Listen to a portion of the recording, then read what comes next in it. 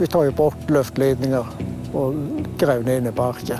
Det underlättar för det blir inget träpåfällning eller sånt. Och det blir modernt, för det var ju ganska gammalt nät det här ute på ön. Upp, upp, upp. Sen hade vi en kabel